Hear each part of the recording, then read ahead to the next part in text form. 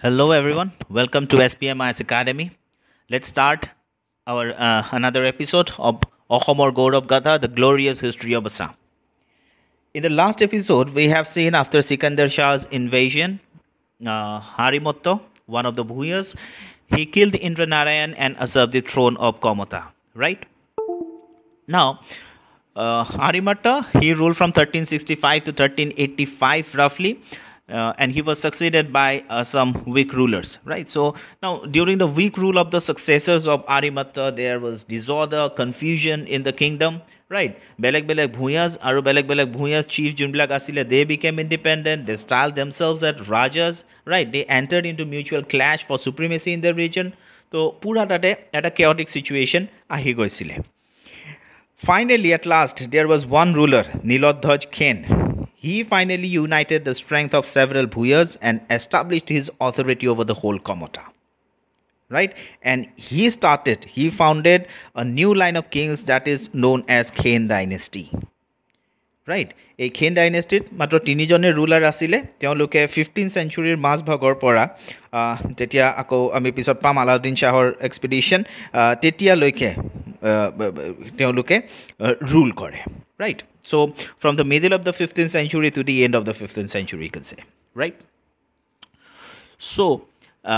this Niladhaj Khen, who founded the Khen dynasty, he was succeeded by his son Sakradhaj. আৰু এই চক্ৰধ্বজৰ সময়তে বেংগলৰ আৰু এজন চুলতান আছিলে আৰু এজন ৰুলাৰ আছিলে বেংগলৰ Barbak Shah right so' Barbak Shah led an expedition to Kamata during the rule of Chakradhwaj right but uh, Barbak, uh, he was uh, his army was defeated by the Kamata ruler. Now, on the death of Sokrathas, his son Nilambar ascended the throne of Kamata. So, Prathamate uh, Niladhaj Khin, Niladhaj Khin was succeeded by Sokrathaj, and Sokrathaj was succeeded by Nilambar. Right now, Nilambar he occupied the northeastern part of Bengal. Right, and সি গোটেই যেতিয়া north eastern পাৰ্টটো কংকুৱাৰ কৰিলে সেইখিনি সময়ত চুলতান আছিলে বেংগলৰ Alauddin Hussain Shah right so' Alauddin Hussain Shah soon after his accession to the throne, he led an, a campaign on a grand scale against the king of Komata with a view to recovering the lost possessions of Bengal. Right? They destroyed the city. They captured Nilambar and took him to Gora. বাট নীলাম্বৰ ছাবচিকুৱেণ্টলি পিছত সি পলাবলৈ সি পলাই যায় হি successfully এস্কেপড কিন্তু নীলাম্বৰক capture কৰি লৈ যোৱাৰ পিছৰ পৰা তাতে আৰু খেন ডাইনেষ্টিৰ কোনো আপোনাৰ ৰুল কৰা ৰুল বন্ধ হৈ যায় তাতে ৰাইট চ' তাৰপিছতে গোটেই সেই জেগাখিনি আলাউদ্দিন হুছেইন শ্বাহৰ আণ্ডাৰত আহি যায় চ' গোটেই আপ টু হাজোলৈকে যিমান এৰিয়া আছিলে অসমৰ that whole area was annexed to the domain of the sultan Alauddin Hussain Shah right now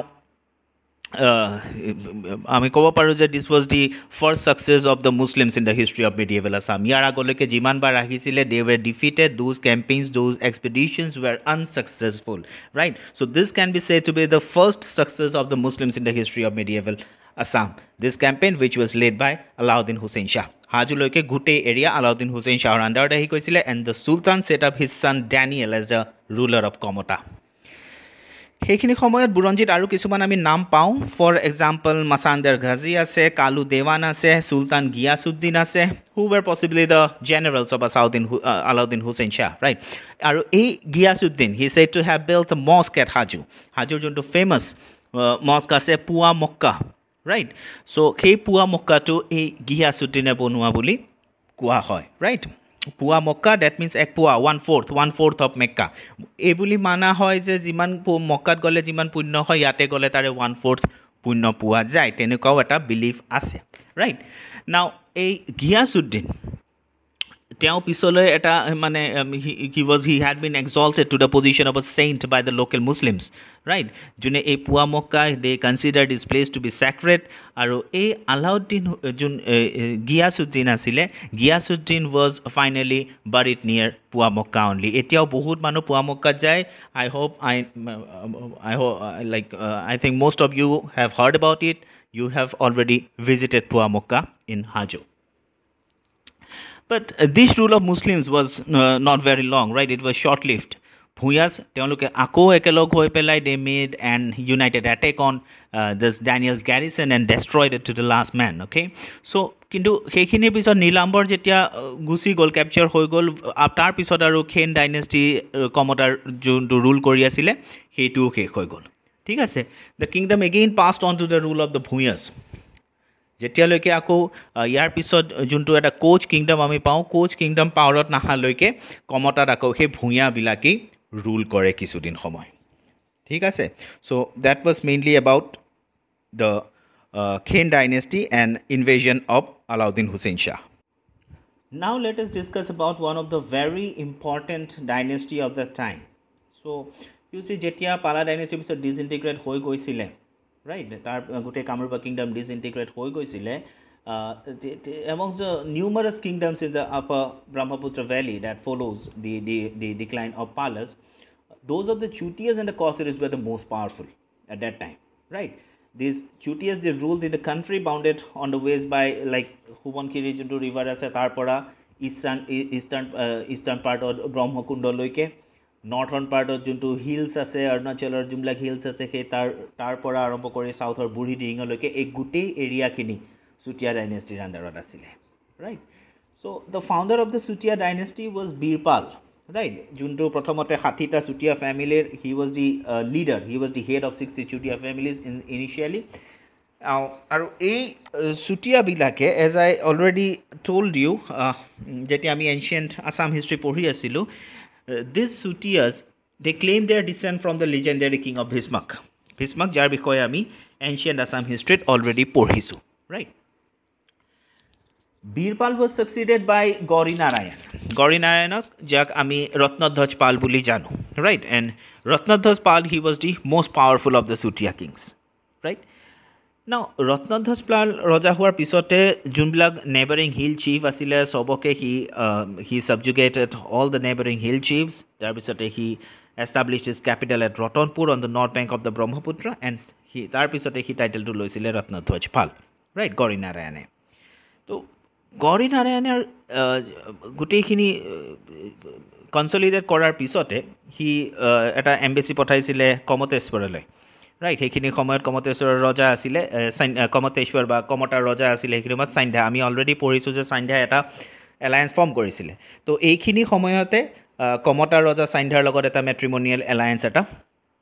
establish হয়। ৰাইট সেইখিনি সময়তে চান্ধ্যাৰ যোনটো ৰজা আছিলে চৰি কমতাৰ যোন ৰজা আছিলে Sandhya he gave his daughter in marriage to the Chutiya prince Ratnadhwaj পালৰ গড়ৰ লগত এটা খুব ভাল ৰিলেশ্যন আছিলে সেইখিনি সময়ত। আৰু সেই ৰত্নধ্বজ পালে he sent one of his sons to Gaur for higher education কিন্তু আনফৰ্চুনেটলি কি হ'ল যোনজন প্ৰিন্সক পঠাইছিলে দ্য চুতীয়া প্ৰিন্স সি ডাইড দেৰ ইন গড় তাৰপিছতে যেতিয়া ডেড বডিটো আহিলে ৰত্নধ্বজ পাললৈ সেইখিনি সময়তে ৰত্নধ্বজ পালে এখন চিটি বনাই আছিলে সিন্ধু ক্ষেত্ৰ বুলি। কুণ্ডিল ৰিভাৰ যোনটো আছে কুণ্ডিল ৰিভাৰৰ পাৰত এখন সিন্ধু ক্ষেত্ৰ বুলি এটা চিটি এটা বনাই আছিলে। সেই জেগাখিনিতে যেতিয়া ডেড বডিটো আহি পালে পুতেকৰ তাতেই তাৰে ক্ৰিমেশ্যন হ'ল। Right it was cremated in that area only আৰু সেইখিনি সময়ৰ পৰাই সেই জেগাখিনিক শদিয়া বুলি কোৱা হয়। শ মানে ডেড বডি ৰাইট তো since the body was cremated in that location সেই এৰিয়াখিনি তাৰ পিছৰ পৰা শদিয়া বুলি জনা যায়। আৰু এই শদিয়াই তাৰ পিছৰ পৰা became the permanent capital of the Chutiyas right চুতীয়াসকলৰ first permanent capital হৈ যায় সেইখিনি তাৰ পিছৰ পৰা এই শদিয়া এৰিয়াটো। ঠিক আছে? এতিয়া লাষ্ট পাৱাৰফুল ৰুলাৰ আছিলে চুতীয়া কিংডমৰ ধীৰ নাৰায়ণ। ৰাইট ধীৰ নাৰায়ণ অৰ ধৰ্মধ্বজ পাল। হি চান যোনটো সন্ধ্যাকৰ নাৰায়ণ আছিলে হি ৱাজ এ মাইনাৰ যেতিয়া ধীৰ নাৰায়ণৰ মৃত্যু হয় তেতিয়া his son Sandhyakar Narayan was a minor সেইকাৰণে Dhir Narayan was succeeded by his son in law Nitipal. Nitipal এজন কমন মানুহ আছিলে মানে কোনো ৰয়েল ফেমিলিৰ পৰা বিলং কৰা নাছিলে but he married the Chutia princess সাদেনী so তাৰপিছতে সেইকাৰণে he became the son in law of Dhir Narayan আৰু যিহেতু ধীৰ নাৰায়ণৰ নিজৰ পুতেক মাইনৰ আছিলে গতিকে Dhir Narayan was succeeded by his son in law Nitipal right so' he was the last ruler of Chutiya kingdom আৰু তাৰ সময়তে নীতিপালে ৰুল কৰি থকা সময়তেই the Chutiya kingdom was annex to Ahom kingdom of the greatest rulers of Ahom that was চুহুংমুং in fifteen twenty three AD আহিম আমি চুহুংমুঙৰ বিষয়ে যেতিয়া পঢ়িম তেতিয়া আমি আকৌ চাম যে কি হৈছিলে সেইখিনি সময়ত। ঠিক আছে? তো চুতীয়া কিংডম ফিফটিন টুৱেণ্টি থ্ৰীত শেষ হৈ যায় because this territories were annexed by the Ahoms in fifteen twenty three AD so' last ruler was Nitipal right the next important dynasty যোনটো আছে সেইটো হ'ল কছাৰী। ৰাইট যেতিয়া আহোমসকল ইয়াতে আহে the Kacharis they were the most important and organise tribe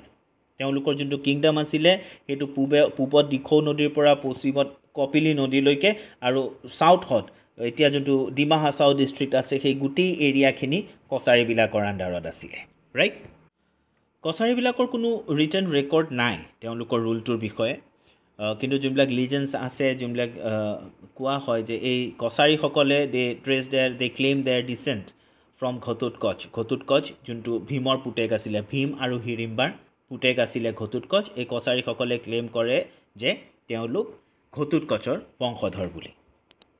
এই কছাৰীসকলক অসমৰ বিভিন্ন পাৰ্টত বিভিন্ন ঠাইত বেলেগ বেলেগ নামেৰে জনা যায়। For example in Goalpara and North Bengal they are called Mech আৰু north Cachar হিলছত they are called Dimasa Brahmaputra ভেলীত this Kacharis call themselves Bodo or Bodo Fisa so' তেওঁলোকক বেলেগ বেলেগ নামেৰে জনা যায় ৰাইট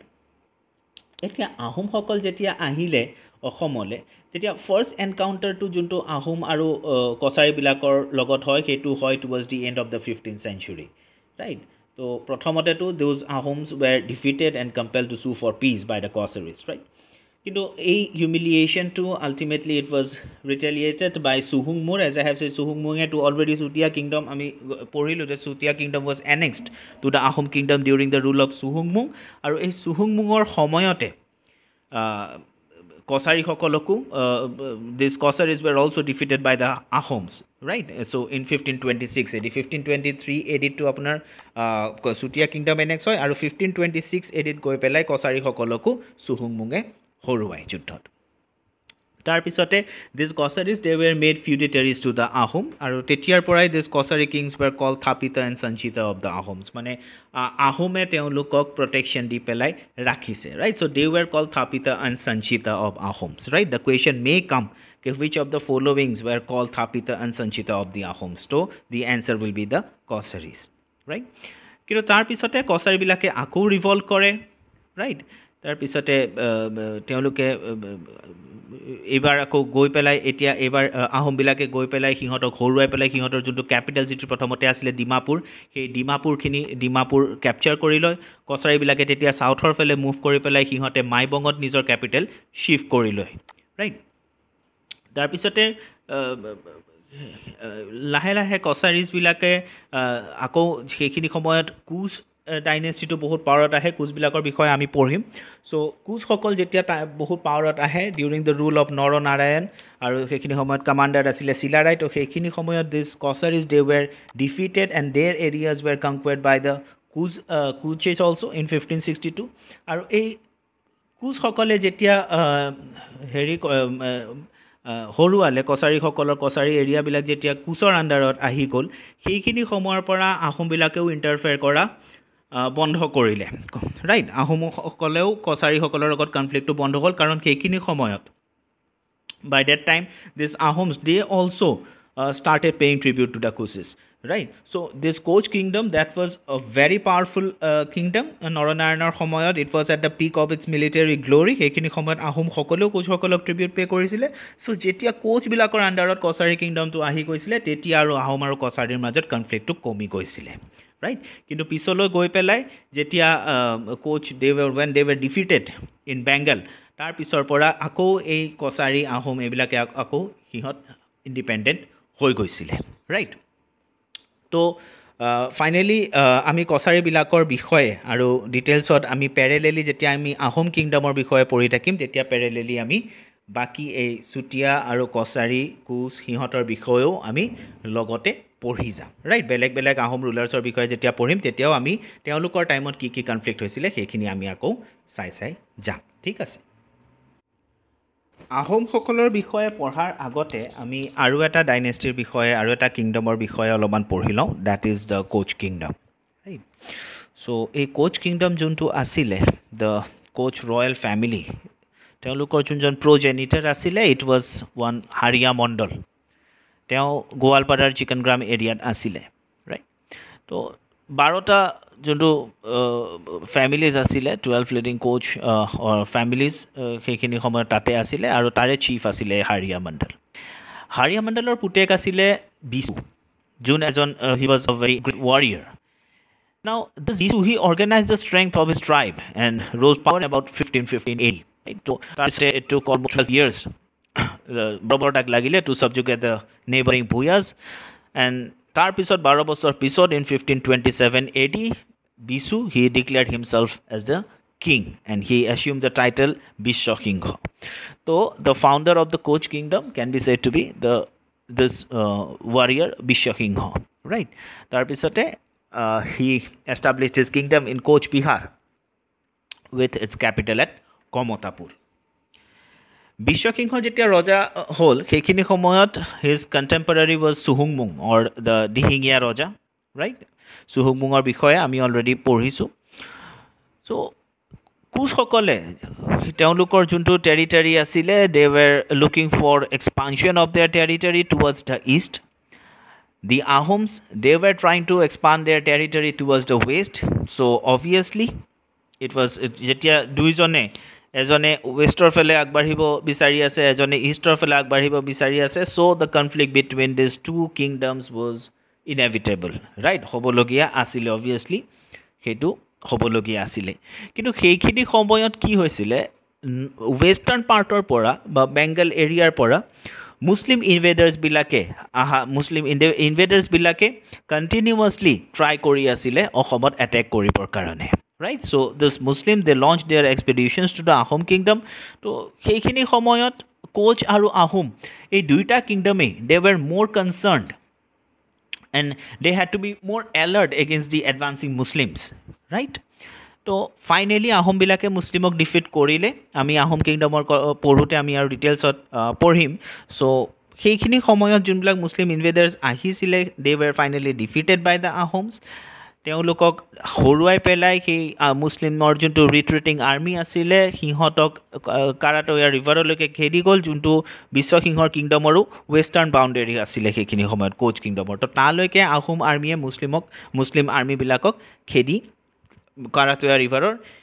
পাৰ কৰাই থৈ আহিলে ৰাইট আৰু তাৰ পৰা যেতিয়া ঘূৰি আহোঁতে সেই আহোম আৰ্মীয়ে বিশ্বসিংহকো এটেক কৰিলে আল্টিমেটলি বিশ্বসিংহই uh, he surrendered and he became a tributary to the Ahoms. কিন্তু তাৰ কিছু বছৰ পিছতে বিশ্বসিংহই he dishonour the terms of agreement with the Ahom kings সেইখিনি সময়লৈকে বিশ্বসিংহই পূৰা তাৰ যোনখিনি ওচৰ পাজৰৰ এৰিয়া আছিলে যোনবিলাক ওচৰ পাজৰৰ ভেচেল চিফছ আছিলে ডিমৰুৱা বেলতলা ৰাণী লুকি দৰং এই গোটেই এৰিয়াৰ যোনবিলাক চিফ আছিলে যোনবিলাক এৰিয়া আছিলে uh, he had already consolidated all those areas right aru he uh, this way he strengthened his position so এনেকে after strengthening his uh, power uh, or his position he proceeded with a huge army against the Ahoms কিন্তু সেইখিনি সময়ত because of the shortage of provisions and difficulty of transport he had to retreat Right তো বিশ্বসিংহই কৰিব বিচাৰিছিলে এটা এটা কিন্তু সেইখিনি সময়ত নহ'লে। And finally Biswa Singha he died in fifteen forty A D now বিশ্বসিংহৰ মৃত্যুৰ সময়ত তেওঁৰ যোন দুজন ডাঙৰ পুতেক আছিলে মল্লদেৱ আৰু শুক্লধ্বজ তেওঁলোক আছিলে বেনাৰছত দে were pursuing they studies they right now যি এই মল্লদেৱ আৰু শুক্লধ্বজৰ অনুপস্থিতিৰ সুবিধা লৈ পেলাই সেইখিনি সময়ত ৰজাৰ আৰু এজন পুতেক নৰসিংহ। হি আছাব দি থ্ৰ'ন ৰাইট চ' দুজন ডাঙৰ পুতেক নাছিলে কাৰণে ৰজাৰ আৰু বিশ্বসিংহৰ আৰু এজন পুতেক নৰসিংহই তেওঁ ৰজা হৈ গ'ল। কিন্তু এই খবৰটো যেতিয়া মল্লদেৱ আৰু শুক্লধ্বজে পালে তেওঁলোক আহিলে আহি পেলাই they raised an army and finally they defeated Narasingha. So Narakinhok, uh, after expelling Narakingha, Malladev, Malladev Raja Hol, he assumed the name Naranarayan, one of the greatest ruler of northeastern India. Right? So Malladev, he took the title Naranarayan and he made his brother Sukladhvaj his commander in chief. Right? Sukladhav, Sukladhvaj যাৰ আৰু এটা নাম সংগ্ৰাম সিংহ কিন্তু এই শুক্লধ্বজ বা সংগ্ৰাম সিংহক আমি আন এটা নামেৰে বেছি জানিবলৈ পাওঁ বা হিষ্ট্ৰীত তেওঁক আন এটা নামেৰে জনা যায় সেই নামটো হৈছে Chilarai right so' this Shukladhwaj he was so' skilled and swift in military operations যে তেওঁক চিলাৰাই নাম দিয়া হৈছিল দ্য কাইট কিং ৰাইট চিলা মানে কাইট ৰাইট আৰু এই চিলাৰাই নামেৰেই তেওঁক হিষ্ট্ৰীত বেছি ভালকৈ জনা যায়। ৰাইট নাও নৰনাৰায়ণ যেতিয়া ৰজা আছিলে কোচ কিংডমৰ সেইখিনি সময়ত আহোমসকলৰ ৰজা আছিলে প্ৰথমতে গড়গৈয়া ৰজা আৰু শুক্লেনমুং আৰু তাৰপিছত চুখাম্ফা বা খুৰা ৰজা। Now Ahoms were defeated by the Koch kingdom during the rule of Naranarayan হৰুৱালে আহোমসকলক। দেন আহোমসকলে they propose the peace term which was finally accepted by Naranarayan. তো আহোমে নৰনাৰায়ণৰ সময়ত they accepted the suzerainty of the Koch right আহোমসকলক হৰুৱাৰ পিছত কোচবিলাকে লাহে লাহে কছাৰীসকলক দে দে তেওঁলোকে আকৌ they turn their attention towards Hirimbapur য'ত কছাৰীসকলে ৰুল কৰি আছিলে।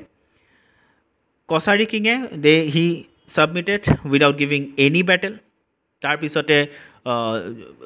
মণিপুৰলৈ নৰনাৰায়ণে মেছেঞ্জাৰ পঠালে। মণিপুৰৰ ৰজায়ো আল্টিমেটলি ছাবমিট কৰিলে। ছাৰেণ্ডাৰ কৰিলে।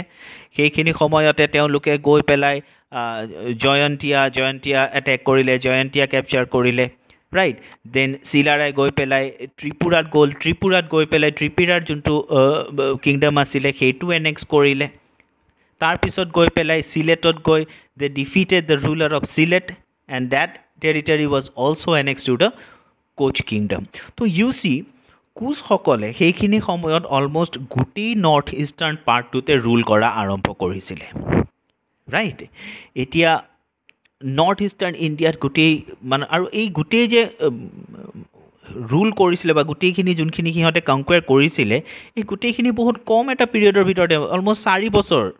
চাৰি বছৰৰ ভিতৰতে এই গোটেইখিনি হৈ গৈছিলে কংকুৱেৰ ৰাইট কিন্তু এটা কথা which which which should be noted here that this the এই কোচবিলাকে they did not annex these conquer territories তেওঁলোকে মানে they defeated the rulers they made them submit to them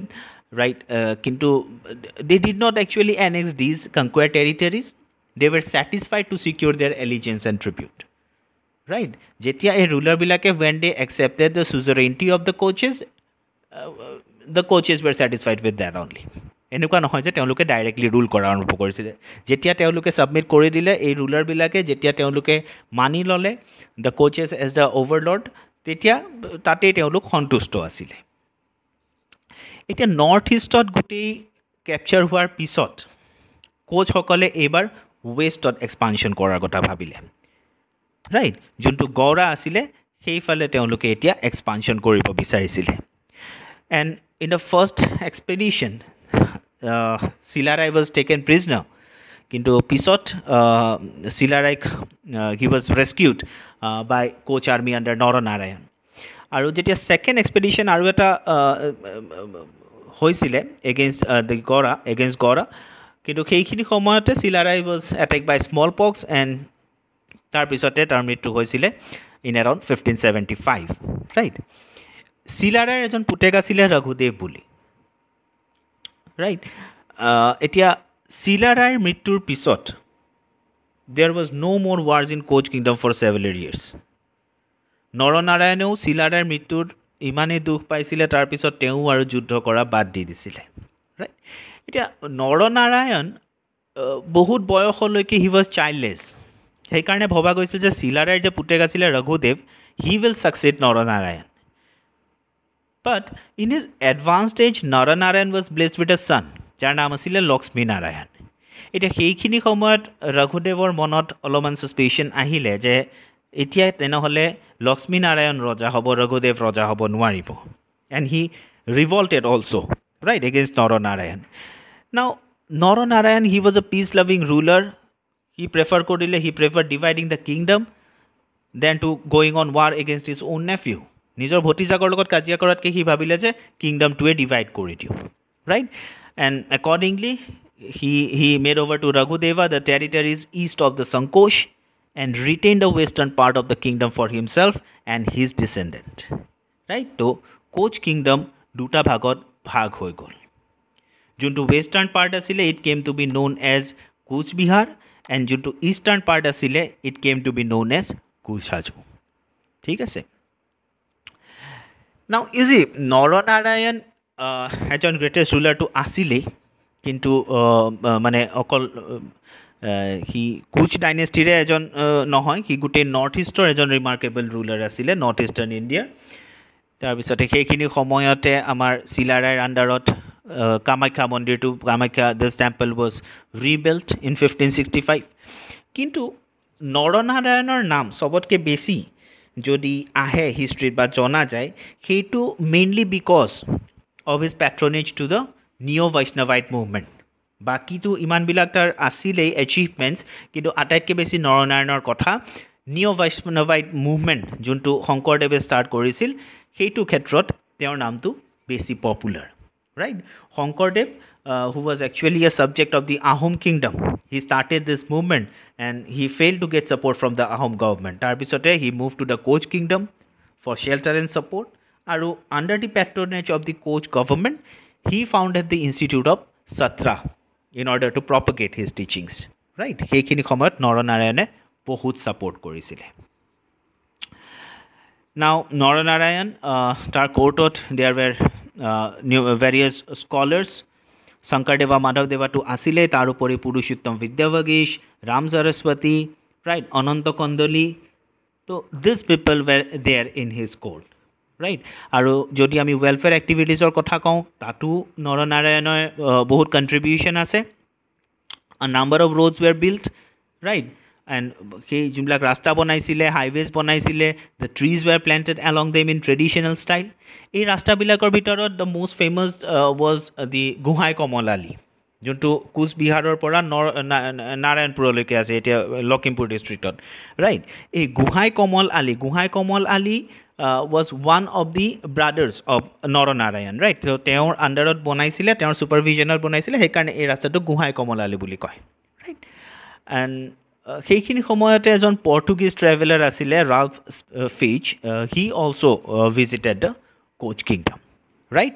so' we have got some idea about the kingdoms আহোমসকল অহাৰ সময়ত অসমত কোন কোনকেইটা কিংডমে rule কৰি আছিলে কেনেকুৱা পৰিস্থিতি অসমৰ আছিলে। So' now we are ready to start the Ahom kingdom right আমি আহোমসকলৰ বিষয়ে এতিয়া আৰম্ভ কৰিবলৈ সাজু কাৰণ আমি বেকগ্ৰাউণ্ডটো অলপ জানি ল'লোঁ। চুতীয়াসকল ক'ত আছিলে কছাৰীসকল ক'ত আছিলে আৰু কেনেকৈ কোচসকল পাৱাৰত আহিছিলে কমতাত right so' from our next episode we will start with the Ahoms right ত' আজিলৈ ইমানেই। থেংকছ ফৰ ৱাচিং বাই বাই